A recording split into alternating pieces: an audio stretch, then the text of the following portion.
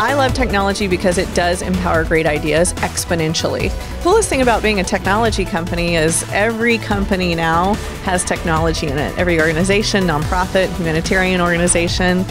So I focus on entrepreneurs, and so what I get to do is work every single day with amazing men and women who have wonderful ideas, and we try to empower them with our technology. I believe in something called what I call speed is the ultimate strategy. So I believe if you move very quickly in all of your startups, you have a better chance of success. Uh, it helps you keep high morale among your team. It helps you beat your competition to market. Uh, it helps you basically get higher valuations when you're raising money or, or selling the company. So I think speed is the way to, uh, to success. Thank you so much for joining us at the first annual Social Impact Youth Summit. Gooddler Foundation is sponsoring this uh, event.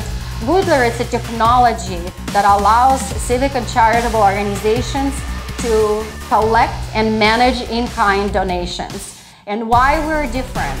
We're different because we are utilizing local resources in the areas of humanitarian action. These 17 goals that range from poverty to education to clean energy to innovation are actually a result of the collective imagination of the world um, to map out the future for ourselves. I think digital technology is going to be amazing for the environment. If you think about storage, if you think about the way where we put data, we have less uh, footprint with paper. We have uh, physical storage now is going down because of cloud.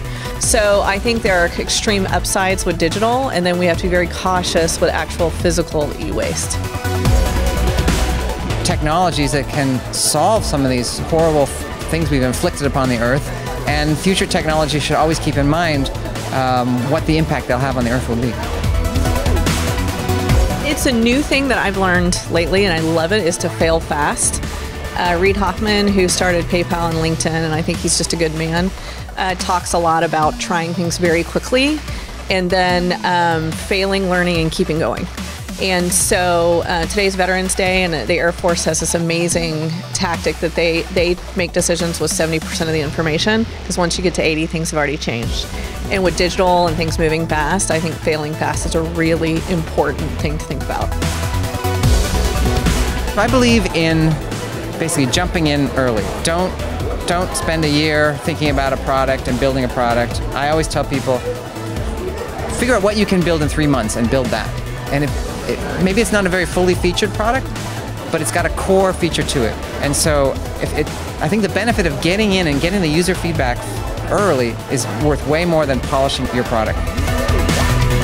It's our time, so don't wait for someone to ask you. Don't wait for someone to give you permission. So if you have that big idea, even if it might fail, go try it because it might lead to the next big idea.